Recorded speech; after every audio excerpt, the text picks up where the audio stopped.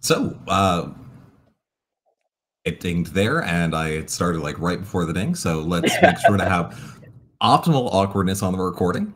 yeah, cool. indeed. Most certainly, man. I'm. I, we're all so excited to to hear what you got to to tell us about web scraping. Yeah. Cool. So um, I'm Shane. Uh, I teach with 4Geeks Academy, uh, and I've been doing uh, full stack web development for long enough that uh, um, it, it, actually makes me feel old at this point. Um, but I, uh, I one of the one of the skills that I I've uh, gained over my career because I, I spent a lot of time in e-commerce. Um, one of the skills I gained was um, was web scraping, which is kind of one of these um, these things that isn't like super glamorous, but a lot of companies are doing it to because like the way that you get big data is you need to collect the data from the internet and it's a lot easier if you don't have to go manually clicking through web pages and uh, and all of that. So all these companies are doing web scraping. Um, and really all web scraping is doing is you're having a program go visit websites and get the information you need from those websites um, some of the absolute worst code that I've written has been in web scrapers. Um, so it is uh, worth noting that, you know, um, here, let me actually pull up a, uh, a piece of production code uh, that I wrote. This is the code comments and all. Um, so, you know, web scraping has some things that can be a little bit complicated because you're you're navigating web pages without being able to really see it. Um, and then sometimes you just need to structure the data in weird ways. And you were a junior dev at this point, and uh, you are still vaguely uh, appalled by what you wrote. Um, I actually went back and cleaned this up last night uh, because some students were uh, some students were asking about this. Cool. Um, if you want to follow along, uh, there are a couple things to uh, to keep in mind. One is I have set up a test website for this. You guys are welcome to use that as a way to test out scraping um, or to try it out for learning scraping. It'll be up for a couple of days. Um, if you're going to be doing any large scale automated web scraping, check with your ISP. Um, it would really suck for your ISP to, to shut you off because you broke their terms of service. Um, I wouldn't recommend calling up their support and saying, hey, I want to do web scraping. What can I do? I'd recommend looking at your the, the terms of service for your uh, your ISP. Um, second, while web scraping is completely legal, uh, it can be very rude. And if you take down somebody's website with your web scraper because you're making a thousand requests a second, um, people might get mad and a little bit litigious. So, you know, be careful. Make sure that you rate limit your bots or rate, rate limit your web scrapers. Um, we're going to be doing this seminar in Python. Um, and the website that I've set up for this is um, this website full of excellent recipes, filling recipes, and filler text. So cool. I'm going to drop a couple links into the chat for you. Uh, first is the template that I'm going to be using. And the second is the website that we're going to be scraping. Um, because once again, I've set this up. If you guys take it down, uh, first of all, that'll be uh, wonderful. And second of all, eh, DigitalOcean probably won't get super mad at me. Uh, and the third thing is uh, because I have clicked into the wrong tab, uh, this lesson is kind of built off of Al Sweigart's um, Automate the Boring Stuff with Python, which is how I learned Python. So, highly recommend this. Uh, it is a good read. It has lots of interesting projects, uh, and it is completely free online. So uh, we're specifically working off of um, uh, chapter 12. So. Uh, so uh, one second. Let's let's actually use this template instead of. Uh, let's just delete this. Cool. So, uh, if you're a 4Geeks Academy student, um, you can use uh, use this template, and you will have access to your free uh, code space hours. Otherwise, you can open it in a code space, uh, or you can create a new repository on your own account and open it in a new code space. Um, uh, yeah.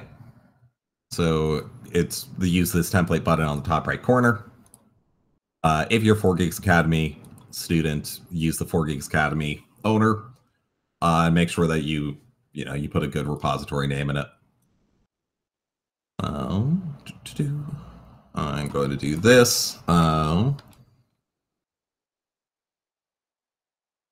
see, this is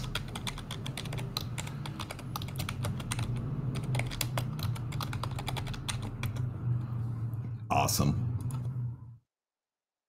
If you're not a student, just make it under your own account. You get, uh, I think, about 40 hours of free code space hours uh, a month. So, um, to do create a code space on main. And then I need to zoom this in uh, because the uh, the screen share window is honestly kind of small.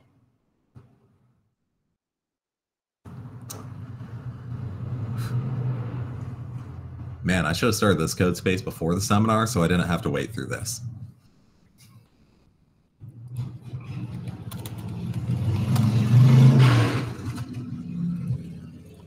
Okay, so there are a couple of things I'm going to go over ahead of time.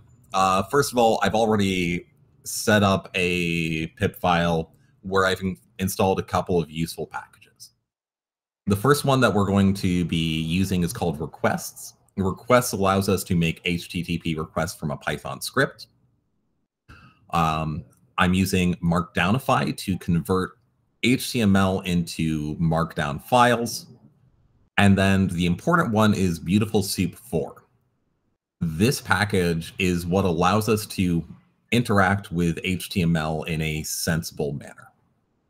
So we're going to be pulling things from um, the website, and then we'll be able to turn them into actually useful stuff for us.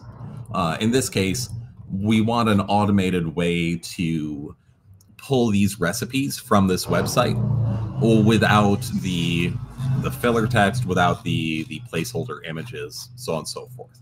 Really, all we care about is this. Um, if we wanted to, we could actually turn that into a data structure if we knew enough about the website. Uh, that would allow us to, you know, do data science to our recipes. Um, but honestly, uh, I'm more inclined to cook the recipes at this point. Cool.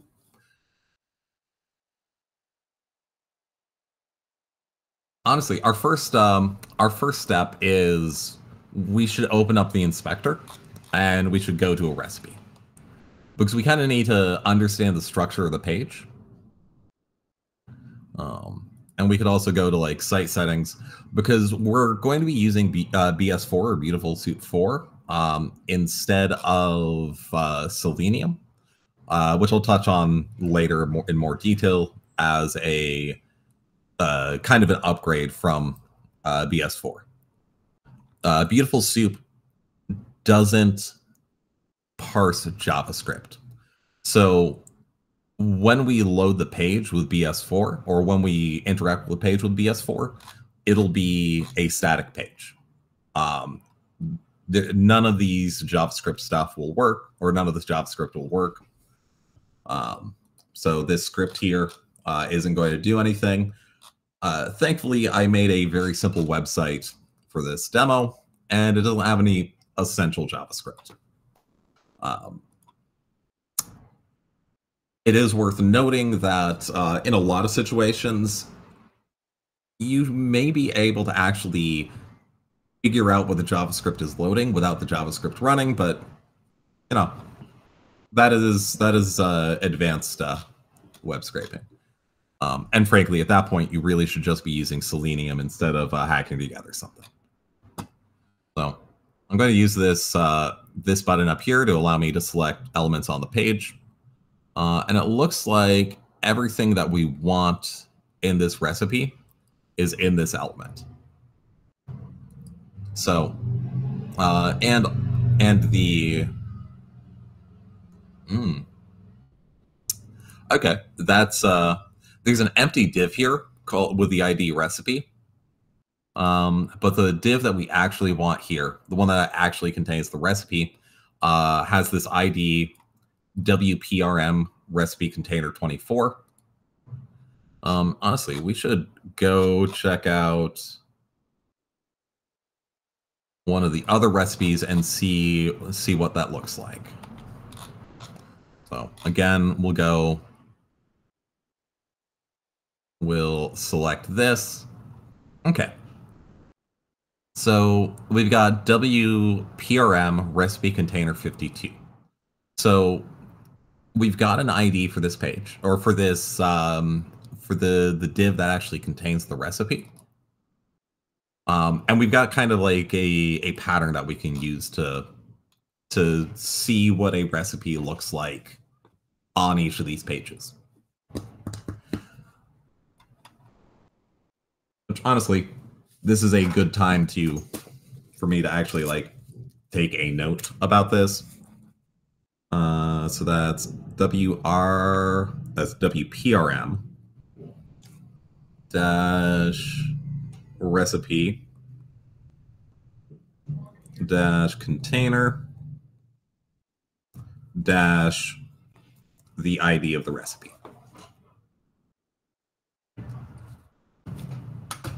Cool. Uh, and that seems to be uh, how it how it works in every case. So we've got that, or we've we've got some of the the precursors for our website, or not for our website, for our web scraper. We know what we're looking for on a page. Um, we just need to actually get that now. Cool. So let's let's import requests. So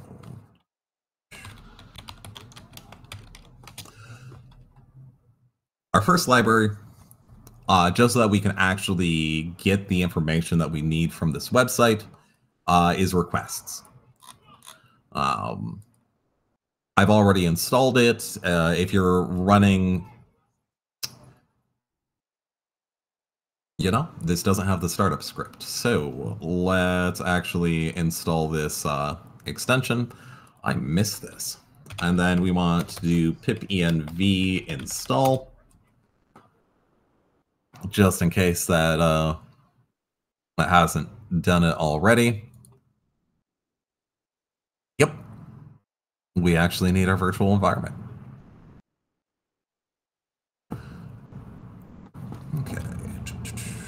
Let's hop over here uh, and we'll add a setup node. Uh. This is going to be bash uh, pipenv install. And did I write a script? Yeah. And then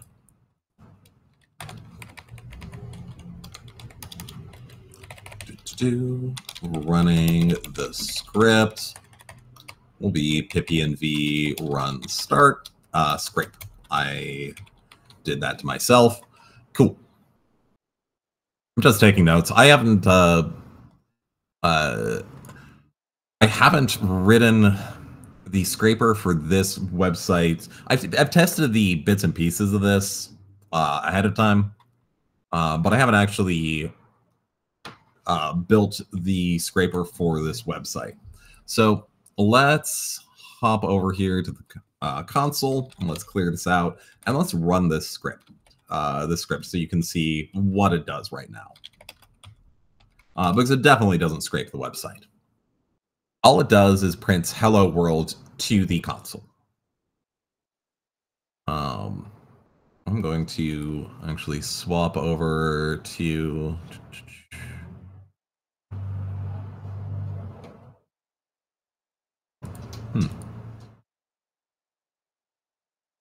Much better. Cool. I'm going to swap over to the correct uh, environment here. Um, if you're following along, what you're looking for is you want an environment that has pipenv in it. Uh, you may need to refresh the interpreter list um, to see that after you've done the pipenv install. Um, cool. So we've got our requests. Uh, we want to be able to, uh, I'm going to just hard code this initially uh, as I lose track of which tab. I'm going to pin this one. That seems like a good idea. So um, let's make a variable to hold the recipe URL. Just for now. And then we'll we'll make a request. So we'll do uh, response is equal to request.get recipe URL. We don't really need to make any uh, any big changes to that. This returns a requests dot response. And then we can, instead of printing hello world, we can print a response when we run pipenv run scrape, we're going to get a response object out here.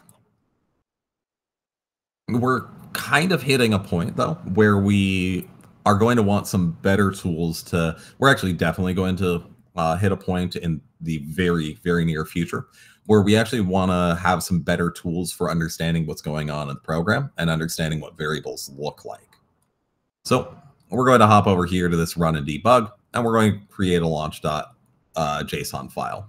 We're going to select the Python debugger, uh, and we're going to run a or have it set up so that we run the current file. Um, frankly, that should probably be enough for what we have now. So uh, if I run the debugger,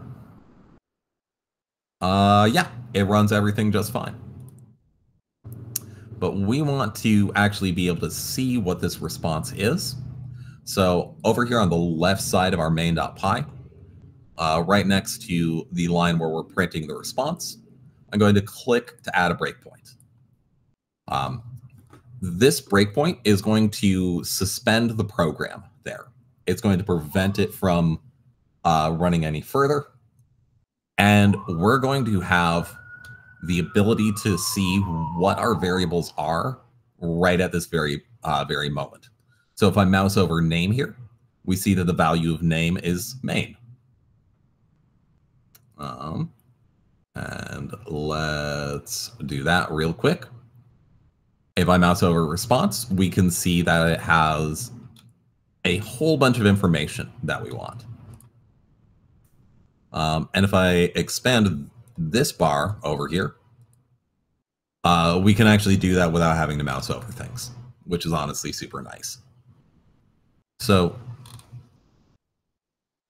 the thing that we kind of really care about here is this text, um, which uh, it's going to be kind of hard to to see um, because there is, uh, frankly, a huge amount of text in here.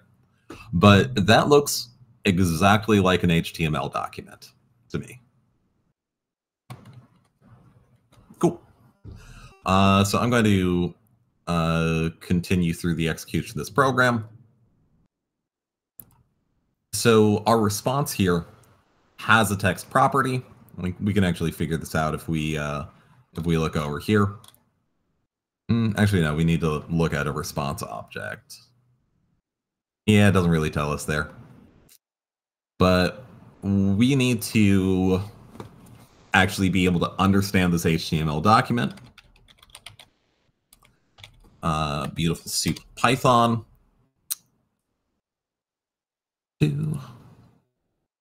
Okay. So, beautiful soup. Uh, doesn't really have the best documentation, unfortunately. Um, but we kind of really where we want to go look at it is um, we want to understand making the soup, and then we're going to want to understand searching the tree for stuff. So, what the what uh, BS4 is going to do for us? Um, I'm actually just going to import BS4 as I hit Control W instead of Control T. Um, good for me. Uh, let's see, import BS4. This is going to take a hot second to find its brain. Um, but yeah, basically what what beautiful soup uh, lets us do is it allows us to interact with um, a web page kind of in a very similar manner to uh, how we can interact it with uh, or interact with a web page with uh, query selectors. Like um, let actually const recipe equals document dot query selector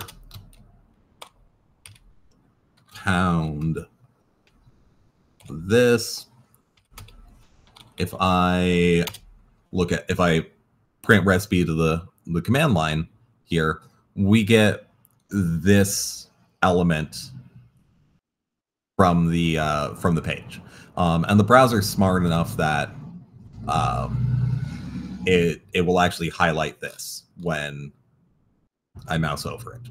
Um, honestly, this feature didn't always exist in browsers. It's great. I love it.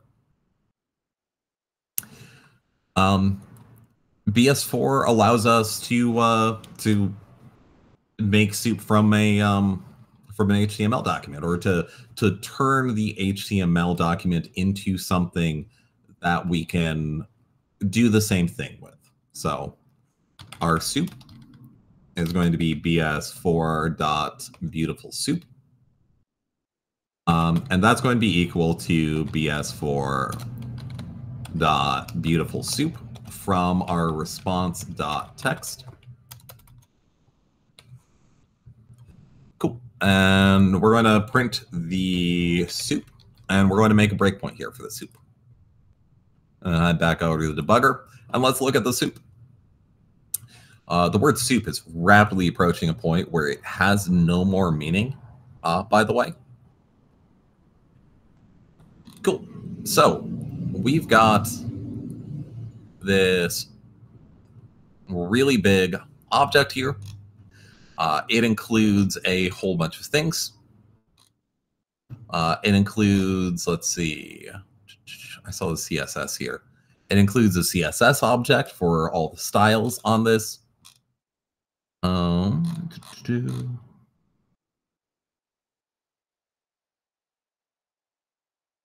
let's see, there should be. We don't care about the parents here uh, because there is none. Um, we've got a. Uh, so we've got a list of the children of the HTML document, uh, which is uh, a handful of nodes, including a uh, an HTML tag, which we can actually just navigate down through this. Hmm. Except that uh, children is a list iterator, which is one spot where the debugger doesn't really help us a huge amount, um, which is unfortunate. Well, we'll step through the execution of this. So yeah, we've got this uh, we've got this magical object here that I promise you will actually let us understand this um, uh, this uh, this website or interact with this website in Python. So cool. Uh, we're let's see. Let's find uh see, we don't want to find it with a function. Uh, did we have an ID at some point? String kind of filters. Let's.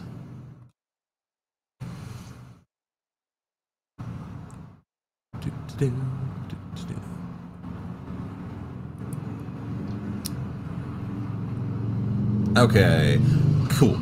So we've got this find function. Um, there's also the find all function, which will give us an array of things. Um, let's see.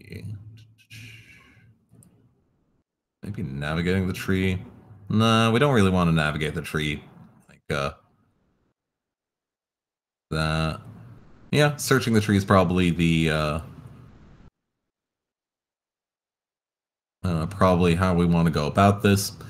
Um, we need to find something with an ID that matches kind of what we're looking for. And probably the best way to do that is going to be um, using regular expressions um, so that we can pattern match. Uh, regular expressions are not super hard or easy to read, uh, which is unfortunate. Um, but yeah, let's um, let's try to find the recipe. So our recipe is going to be uh, equal to soup.find. Uh, and we want to find something with a regex string that, uh, let's grab this.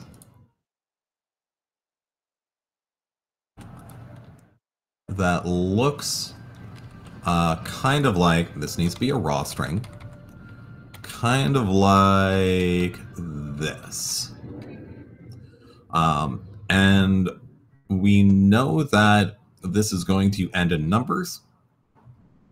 So but we've only ever seen two numbers.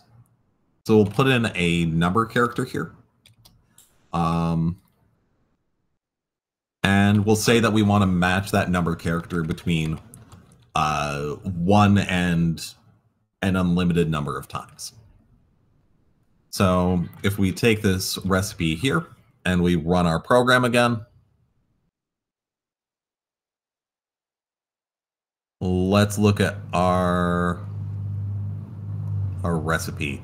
Our recipe came back with none. Let's see. No parser was explicitly stated. Yeah.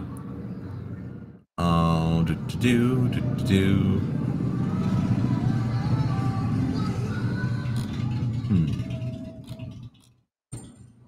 Let's step through this because none is not what we're expecting. So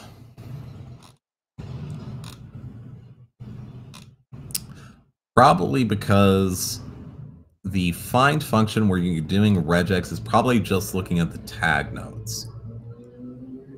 So find by ID. Let's see, CSS selectors. There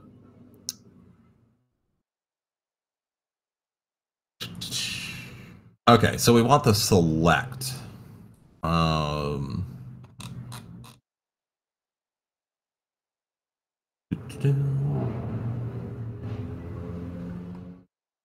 hmm. I wonder if we can find by partial IDs. Because that would be incredibly nifty. Because we don't know what our ID exactly looks like. Um, and I don't want to do the really fancy way of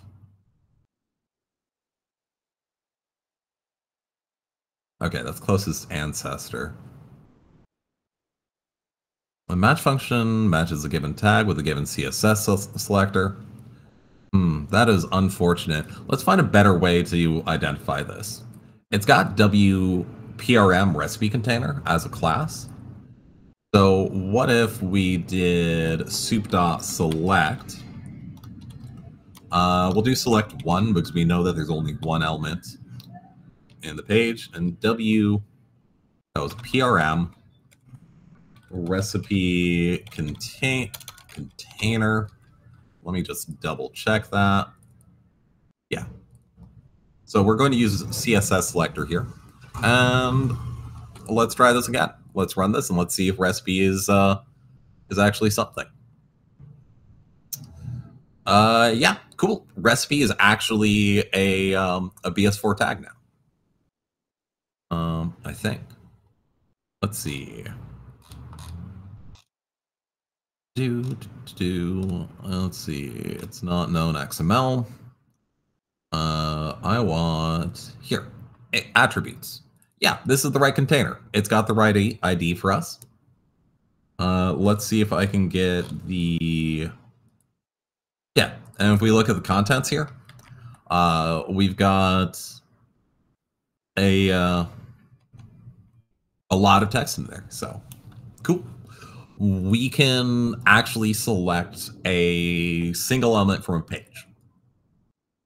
Um, and we're honestly we're a a pretty good uh, chunk of the way to being able to get one recipe and turn it into a markdown file for us. So what we need to do now is this is going to be uh, bs4 dot tag, or it's going to be none. There we go.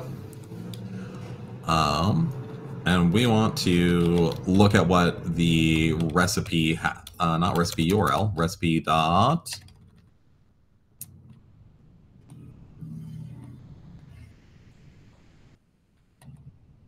Let's see, recipe.getText. text. That seems promising. We'll try that.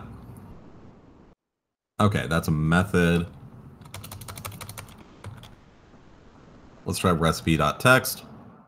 Um, we don't have any breakpoints, so let's just run this. Hmm, that is missing some stuff that we need. Is there HTML? What happens, actually, what happens if I print the recipe just as a string? Is that what we need? Perfect. That is exactly what we need. So let's, our next step is, now that we have the HTML, is we want to actually make a markdown file. So we're going to need to cover some stuff real fast. Python has um, Python can write files to your um, uh, to your file system, basically. So what I'm going to do is with open um, the current directory slash recipes slash recipe.md as uh, to do recipe file. Um, give me one second.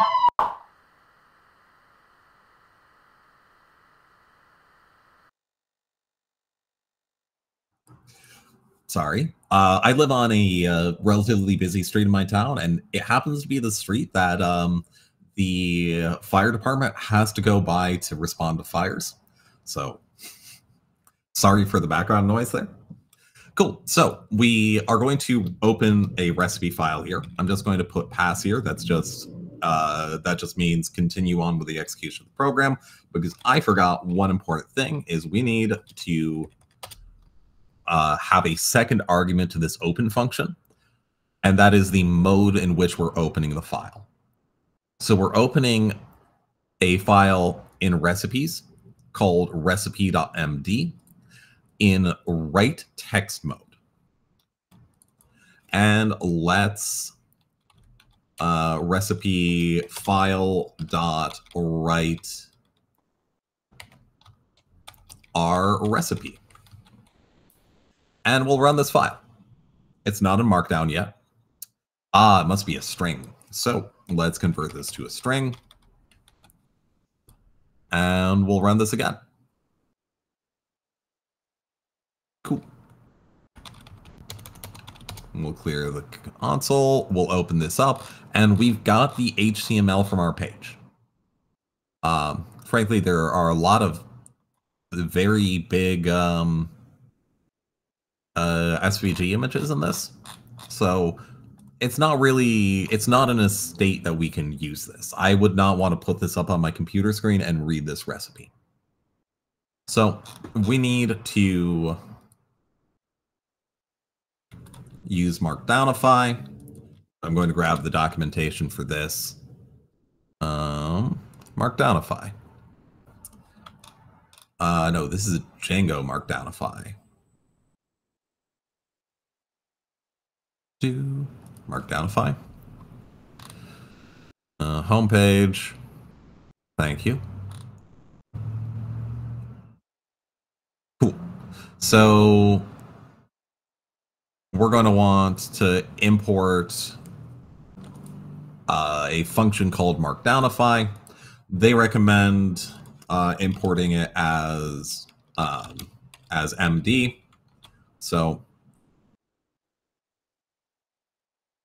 let's see.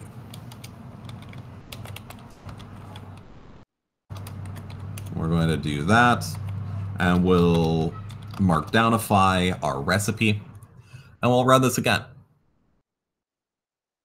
And let's go look at our our recipe. Uh, let's open the preview. And suddenly we have something that looks like a, a useful piece of uh I mean it's got some stuff in it we don't want like we don't want this print recipe button but we could extract that later. Cool. So we can manually scrape one recipe. Which is useful. Um, also, it definitely isn't uh, handling this particularly well, but you know, we can fix that. Uh, just probably not right now. Yeah. Cool. We can scrape one recipe. Um, we really want to make this automated. So let's let's take this and abstract it out into some functions. So we'll define scrape recipe uh, to be a function that takes a recipe uh, URL, which is going to be a string, and it's going to output a string. And then we'll put our function in here, and we'll return our string recipe. Cool. So now we can do uh, recipe equals uh, scrape recipe. And we can take our URL. Um, and we've already abstracted out a bunch of the complexity. But let's make it real easy and we'll define write recipe. This is going to take a recipe HTML, which is, again, it's going to be a string.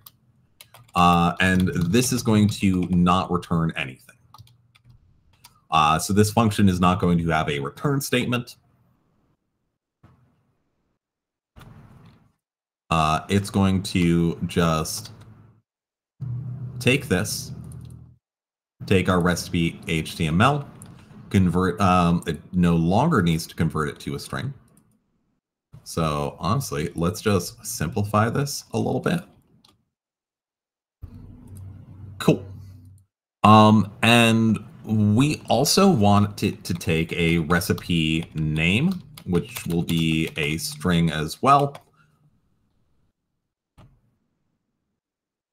So we can uh, do, do, do, do, do. Uh, so let's see. This will be write recipe. The word recipe stop looking like a a word. Uh, and we're going to say that's going to take name and HTML. Uh, we're going to have red squiggly underlines for a second. Uh, to do, I'm actually going to update this to be a to output a tuple, uh, and it's going to return some sort of string and the recipe string or the the HTML string. Cool. So we've got uh, what we're doing here is because this is returning a tuple. Um, we're destructuring that tuple here into a variable called name, which is going to be this first return value, and a variable called HTML, which is going to be this return value. We're going to need some way here to find the name of the recipe, or at least guess at the name of the recipe. So we head back here. We're going to close the body of this. Um, and we're going to go look at the HTML again. We've got the title, which has the recipe name in here. Um, which we can probably uh, we can probably extract that nicely. Uh, we can check to see if there are any meta tags that include uh, what we need. We can actually check here in the app, the the script which has the type application slash ld plus JSON, um, and we can probably find the recipe name in there. Uh, but we'd have to do some extra stuff because this, yeah, like actually this has the name right here. It's right in here. Um, but parsing this LD plus JSON thing to actually get the name of the file um, is going to be probably outside the scope of what we have. So we're going to make a note here um, that we could um, we could get the recipe name from the uh, structured data. Uh, but we're going to use the title instead for brevity. Cool. So we've got our title tag here. Uh, in this case, it's it looks like this. So what we're going to want as the output for this recipe is that as the title. Cool. Um, we can see that there is a separator between the recipe and this. So let's find that. So title is going to be a bs4.tag again. Um, or none, because we could hypothetically not have a title on a page. It'd be really weird. Uh, it's going to be equal to soup dot select one again. And we're just going to use the title selector. And then title, we're going to convert it to a string here, is going to be equal to a string of title. And then we're going to try to split it. Uh, it's not going to be a string. Uh, it's going to be a list of strings.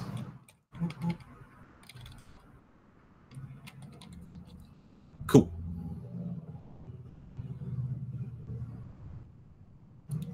Okay. So we're going to return title and recipe here. And honestly, we can just uh, do this again for brevity. That's going to continue to be highlighted, but let's go look at what the title looks like now. I'm going to toss the breakpoint here.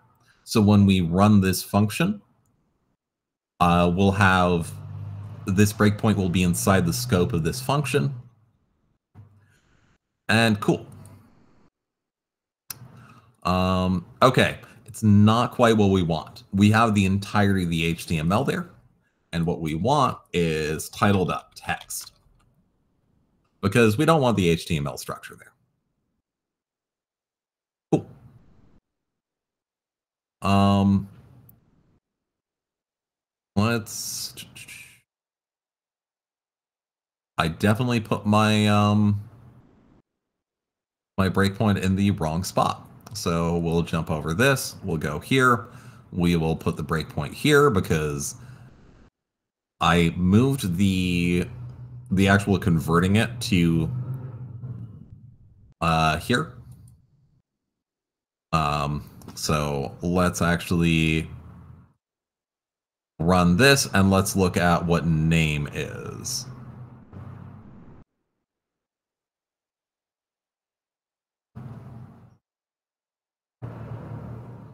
The special variables, no. Man. Name is any. HTML is any. Hmm. Okay. Move the breakpoint to here, maybe. Do, do, do, do, do.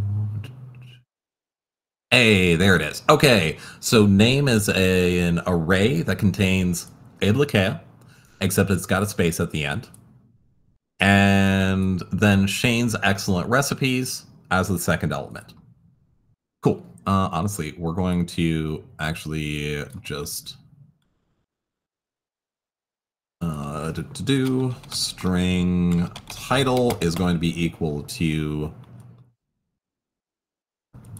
this, the first element of that array, uh, which is going to be this Ablikea string. And then we want to uh, dot r strip uh, rstrip is just a function that uh, takes the um, that takes white space off the end of it. Uh, let's run this again and let's go look at what name is. Cool. Name is just Ablikea. Awesome. We'll kill this program. Um, and I did some some fancy stuff here way back when I wrote that open function, I made this into an f string. An f string allows you to uh, put Python into the string. So we can put the recipe name into this string and the squiggly braces here and everything inside them will be interpreted as Python.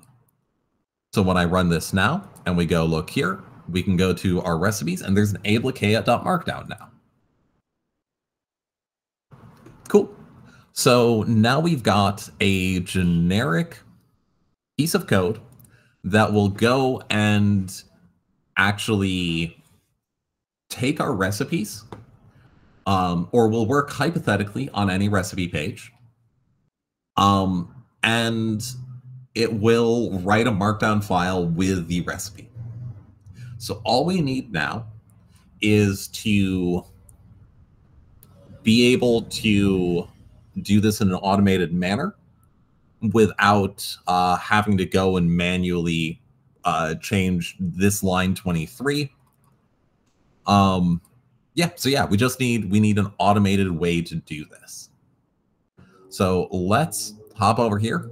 Um, let's reset permissions because we don't really care about JavaScript at the moment. And I'm going to introduce you to two new parts of the website. Um, I'm going to visit them in separate pages so that we have access to both. The first is robots.txt. Robots.txt is a file that you really should read and parse if you are going to scrape a website. Your bot should follow the rules in this. So in this case, uh, it's allowing any user agent, but it does not allow scraping on WP admin. WP includes uh, trackback WP login and WP register.php. Um, robots.txt will not enforce anything, but this line is incredibly useful. This website has a sitemap. It's listed in the robots.txt. So we can visit that sitemap and I'll show you what it looks like.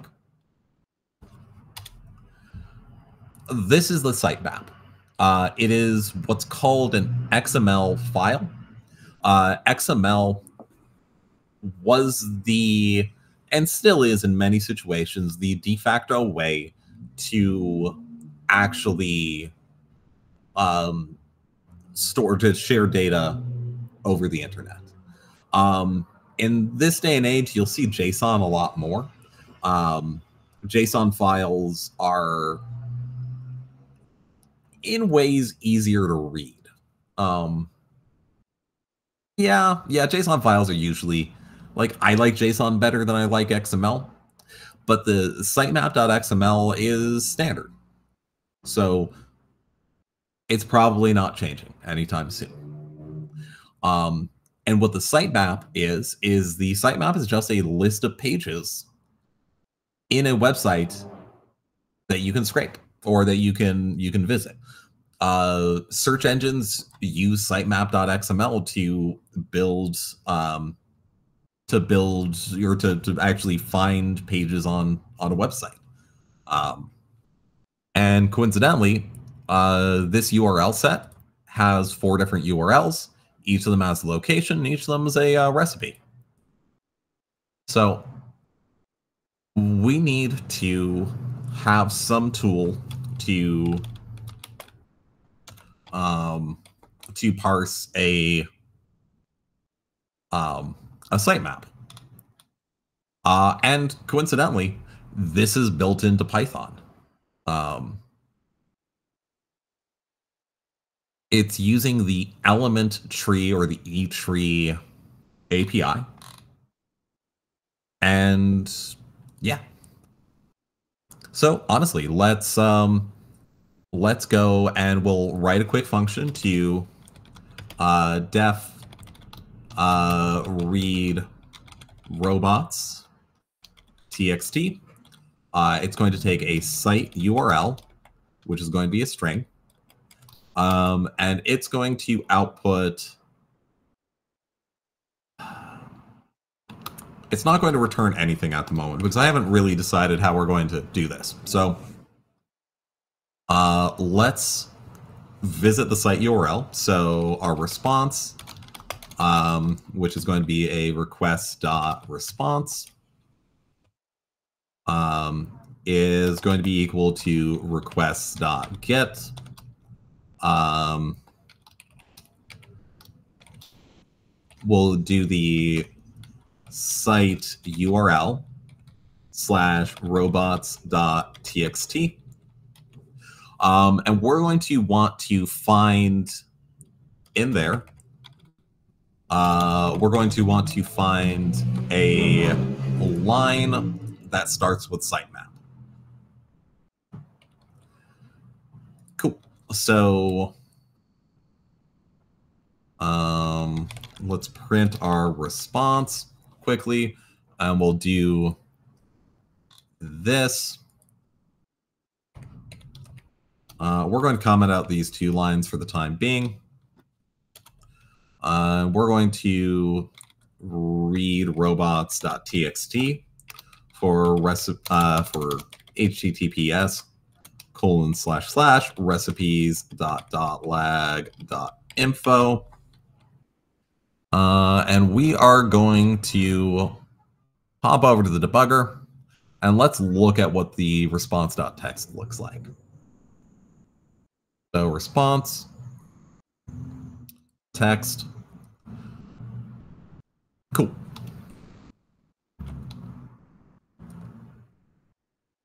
Uh, let's just uh, nope. Let's. Really? Okay. Uh, let's file new text file. Ah. Cool. Cool, cool, cool. So, uh, let's see. mm, they are using Windows style uh, break returns, which is really vaguely annoying, but okay.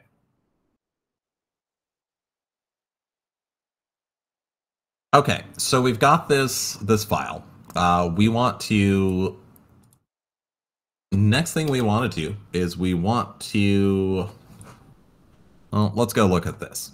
So the pattern we're looking for is sitemap colon space and then a bunch of uh, text that goes from the beginning of a line to the end of the line.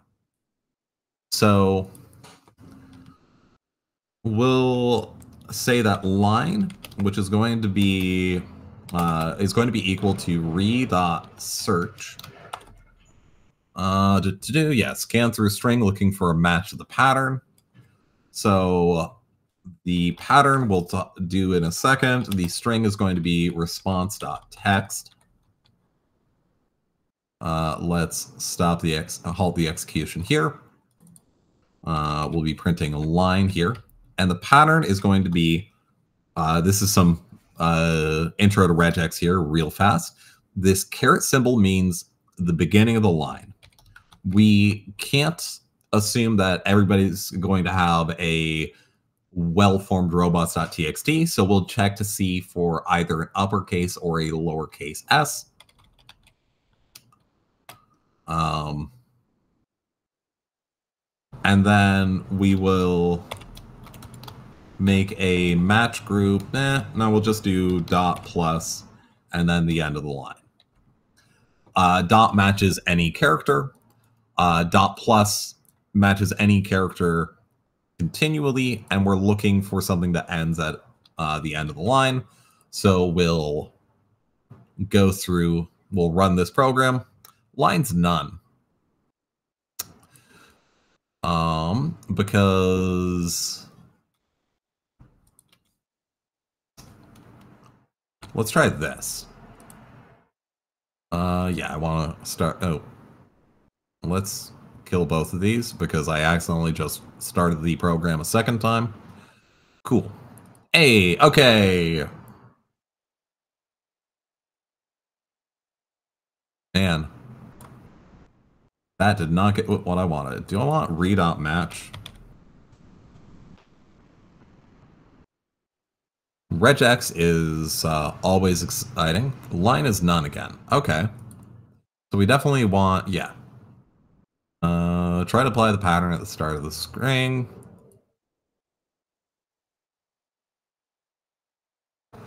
So let's honestly, let's just run this real fast. Re dot match. Let's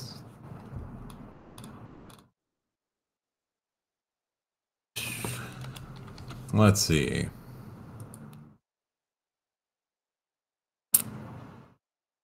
You know, let's let's do this differently.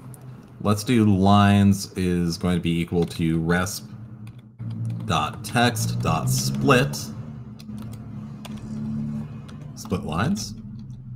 Let's see if that gets what we want. Yes. Okay. Cool. Let me put a breakpoint here and we'll run this. Um, and let's look at what lines is. So lines here is an array that has every line in the robots.txt. So what we want to do is we want to find the correct line. So we want sitemap is going to be equal to lines dot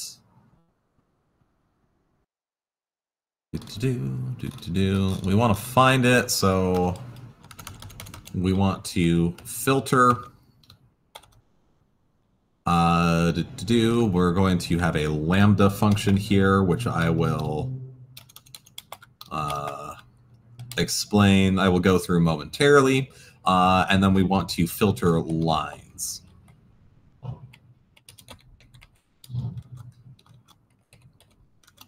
Cool. So uh, a lambda function allows us to basically just write an inline function. So we want a line where uh, we re dot match. Uh, the beginning of it is going to be is either capital or lowercase s it map colon uh, and we're going to because a filter object is weird we're going to cast this to a list. And then we're going to look at the sitemap. So we run this again. We've got an error. To do missing one positional argument string. Uh to do lines dot join. No, no. we're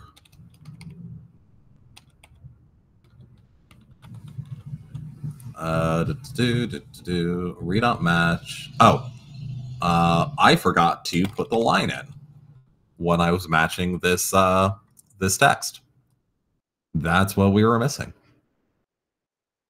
Cool. So our sitemap is now a list that contains one element, which is the line that has our sitemap. So cool. We just need to extract the sitemap from that. Um, we can see that this string starts with sitemap space. So we can do uh, do, this is, I'm going to rename this to line because this is the line that we're looking for. And site map URL is going to be equal to line dot split uh, a blank space. And then we're just going to get the last item out of the array. Cool. So we've got the sitemap URL. Now we need to make a brand. Uh, well, no, we've got the we've got the sitemap URL. Let's return this. So cool. We've got the robots.txt. We are completely ignoring most of robots.txt, unfortunately. Uh, so we're going to rename this to get sitemap. Um, although you can honestly, you can just assume in a lot of situations that the base URL slash sitemap.xml is the sitemap. This is just being nice. We're pretending to read the robots.txt. Cool. So we need to understand the, the sitemap. So let's um, iterate. Uh, let's see. Uh, we'll call the this function sitemap. We'll take the URL as a string, and we're going to uh, yield a string. Uh, or this is going to be a list of strings.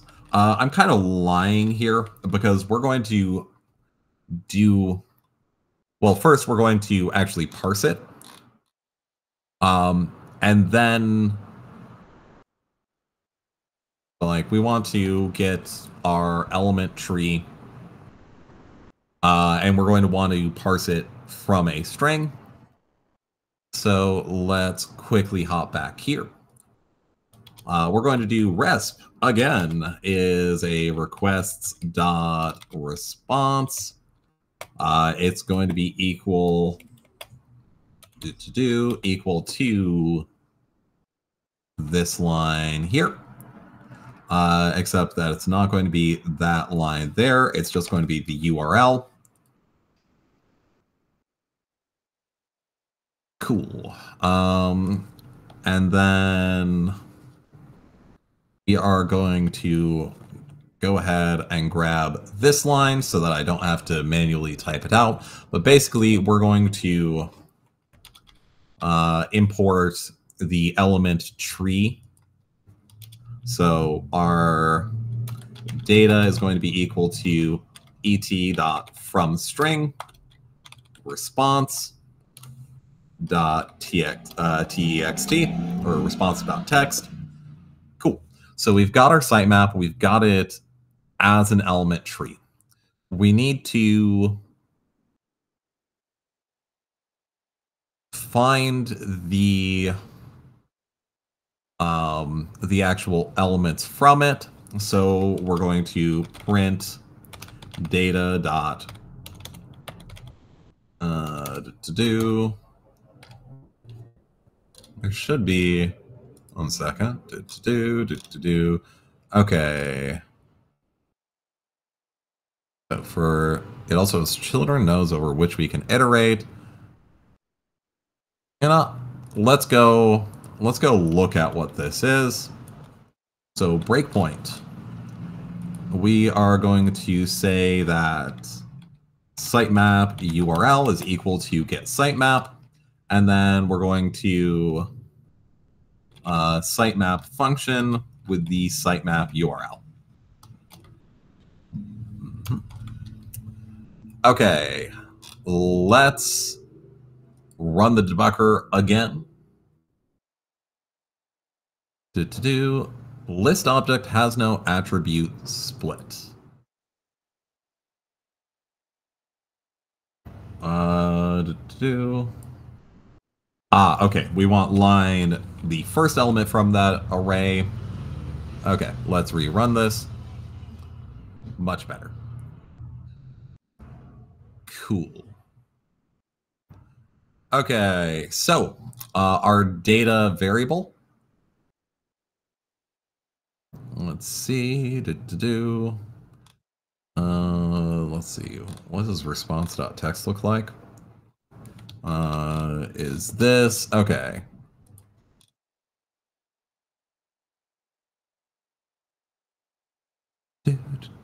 Let's see. So, uh, as an element, root has a tag and a dictionary of attributes. So let's look at the tag.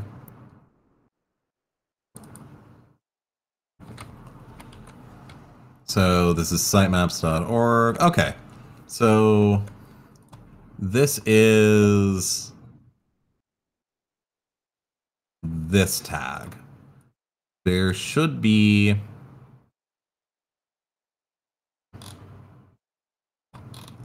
function variables.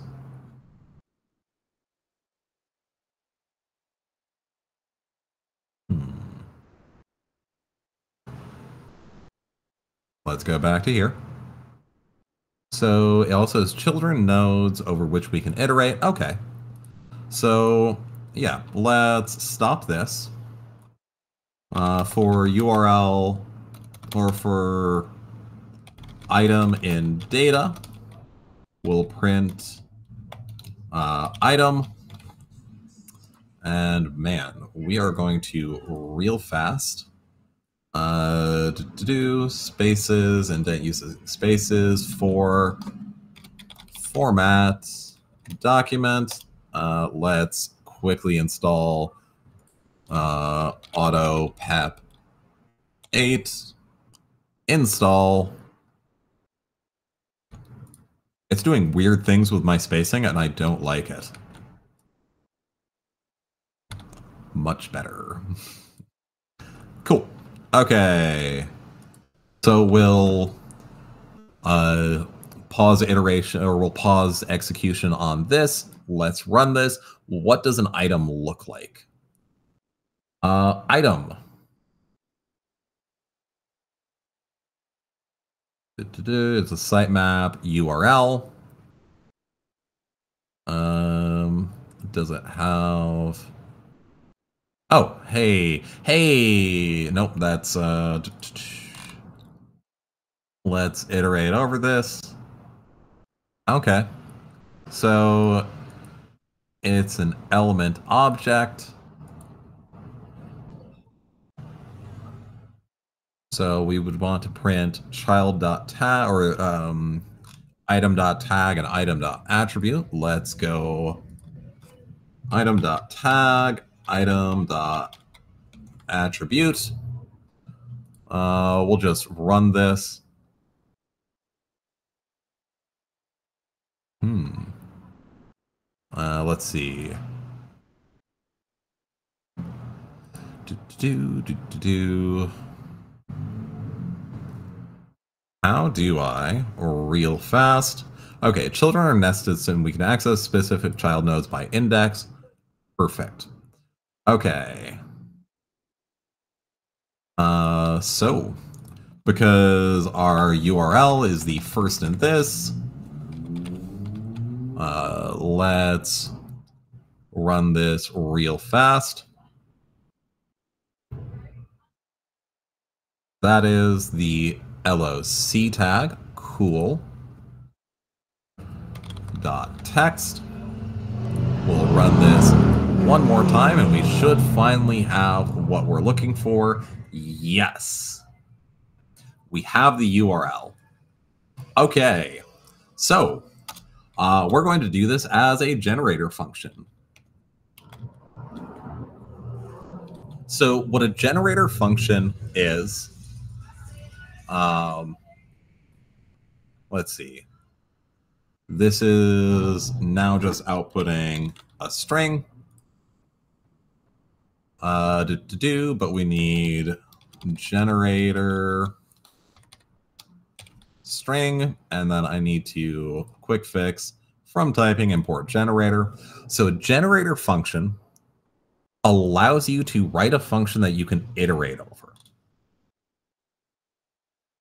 Um, so what we can do is for URL in sitemap URL or in sitemap for the sitemap URL, we can print our URL and we can run this file. Uh, to, to do too few arguments for typing generator. We're just going to take the typing off of this because that's going to be easier. Uh, we're going to run this again. Cool. So now we have a function that will get our URLs for all of our recipes by putting in the root URL of this website. So we need to unindent this. We're going to no longer scrape this hard-coded URL, but we're going to scrape this URL. We're going to clear this out, and we're going to uh, go look over here, and we're going to run this. And we're going to get all of our recipes automatically. Now, you'll notice that I did that really, really fast, way faster than a normal person could do this. So we're going to be polite, and we're going to import OS here. And we're going to os.sleep. Oh, one second. Uh, do, do, do Python sleep. Uh, time.sleep. Okay. We're going to import time, uh, which comes after R.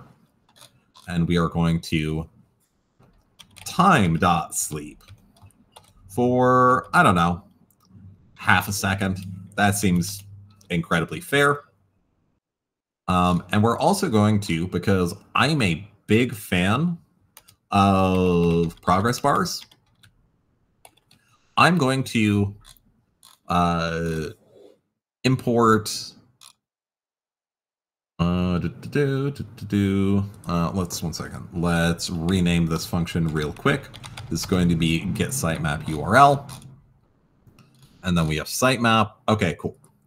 So we are going to wrap this sitemap.url in tqdm. Uh, do, do, do, which is actually going to be from tqdm, import tqdm. And then we are going to run this file. And we're going to get rid of an error.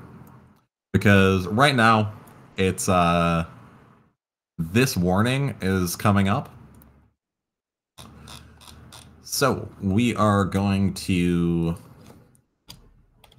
import, man, if I can just find the home keys, import LXML. LXML is a, a parser. Um, that we're going to use. So when we make our soup, we are going to tell it that we're going to use LXML.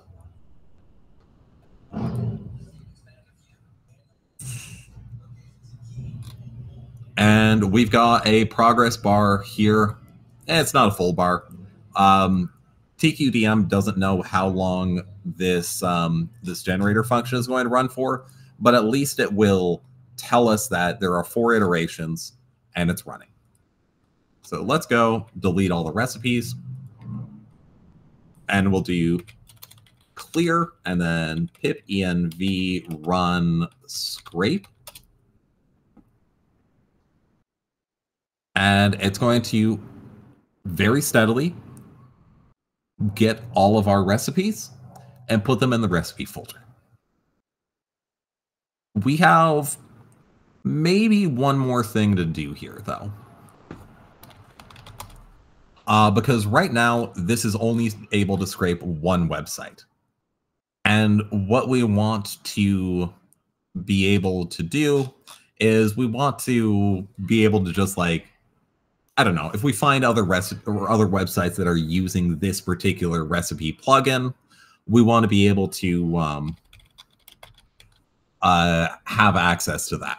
So let's really quickly just add the ability to do pipenv run scrape uh, https colon slash slash recipes dot dot lag dot info uh, it's it's not going to do anything at that for the moment, but we're going to print os dot uh, do, do, man uh, sys dot args. That's what I wanted. Man, I imported os and everything pqrs. So that's going to be import sys or system functions. So I'm going to put a breakpoint here we're going to hop over to run and debug. And when I run this, wow, sys has no attribute args. I have the wrong library again, don't I? sys.argv. I do that all the time. Cool. Let's run this again. sys.argv is going to print the arguments for our um, our scraper. So the first argument is always going to be the name of the file. Um, so if I uh, if I do pipenv run uh, scrape, scrape is spelled with a T in it, obviously. HTTPS colon slash slash recipes dot dot lag dot info. Um, you'll see that argv is an array with main.py because that was uh, if we hop over to the Pipfile, that's this part of the argument. And then recipes dot dot lag dot info. Cool. So we can say that instead of this being hard coded, it's going to be sys.argv. And we want the second element of the array or the uh, instead of the zeroth element, the first element, we want this one. Cool. Let's delete our recipes one more time. And let's run our scraper. And just like magic, it's getting all of our recipes. Cool. Uh, we've been running for 90 minutes, which is uh, an awful long time for you guys to listen to me yapping. So, and we've got a functional scraper at this point. So I'm going to open it up for questions. Um, I kind of forgot the the initial, you know, you guys are always welcome to ask questions. Um, but yeah, cool. Questions. What do you have for them? Uh, um, you are you're unmuted now. That was amazing. Of course, I should go on my end, line by line, whatever you did. I just tried to follow you, and it was just magic. I was trying to uh, see whether the GitHub you shared has this updated because it is it was by the time I checked just the hello world. So yep. now I, if I check that one, I would have that one. So uh, uh, how could I have this running for something like, you know, this is just a job posting. Maybe I go for, let's say, Indeed, because I once I did something very simple with Seek4 uh, this morning and it just said bad request and I just gave it away. I don't want to do something which is not a good request. So I just didn't continue and I was happy that I have this today. Mm, how about we go for other websites like Indeed? I just want to go for something for, for the purpose of the project. I don't want to go for Kaggle, something like CSV file. I don't want to start from that point. I want to start from the URL side to go for the rest. So okay. how it goes, how should I get that the beginning of the URL for a specific job post I'm looking for? Is it possible? Um, you might have better like uh, I know that Indeed has an API that you might be able to uh, get access to. Um, uh, but the what you'd probably want to do is um, let's actually let's hop over to Indeed, uh, and let's search for something, and we'll see what what happens. So like, uh, if I search for full stack web developer uh, remote, we you can see up here that there's uh, there's a a query. Uh, so you could um, it, it, puts the the search into the search bar or into the uh, into the URL bar. Um, so you could start with that, and that would give you this website. Uh, now let's let's look at what this website looks like without JavaScript. And honestly, that's surprisingly functional. Wow, I was not expecting that. Um, cool. So yeah, we can we can start out with this URL and then you could inspect this page and figure out what you wanted to do with the actual data on this page. Um, now, the request probably got canned because, um, or probably got uh, like your your HTTP request probably got denied because um, you didn't have a valid user agent. Uh, so uh, yeah. you can send along a user agent string um, that identifies your browser. So, and you're completely like you can just you can lie horribly. Um, so if I make this, um, uh, one second, I have to go and check out requests user agent. Cool. Uh, so Python requests, user agent. I really wanted the uh, this, but okay. So user agent is a header. Cool. Uh, so yeah, you'd send along a header object with user agent. Honestly, I'm just going to copy this. Um, and we'll go and we'll uh, toss this here. Um, and clearly, this uh, this script is running in Python, and it's not actually running uh, in Firefox 5 on Windows NT. Uh, yeah, it, it's not running Firefox. but we could pass that along with our headers equals headers and we could just pass that along with all of our requests and just you know casually lie about uh about who we are um and that could get you uh, that could potentially get you around the um the issue where your requests are failing uh, and might get you a step further uh, also uh, thank you so I'm, uh, I want to make sure that I have this uh, latest. And so we will have, because so far uh, on my end, for the GitHub, I'm checking. Mm-hmm. For the main.py, okay, it still is import sys if name is yes. hello world. So, yes.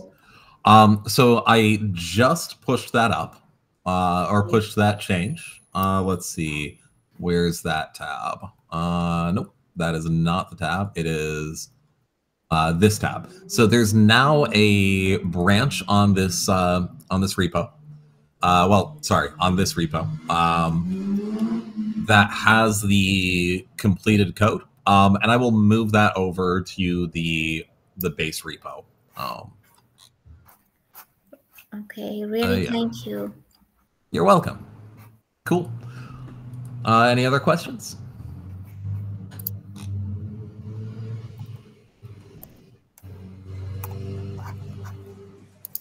All right. Well, Shane, very well done. I want to say to everybody, uh, this will be up on YouTube. I'm sure you're going to have to rewatch it. You know, this guy Shane's a genius. We we all got to take a little more time with what he's got. Um, I will say to everybody, please use your new powers ethically.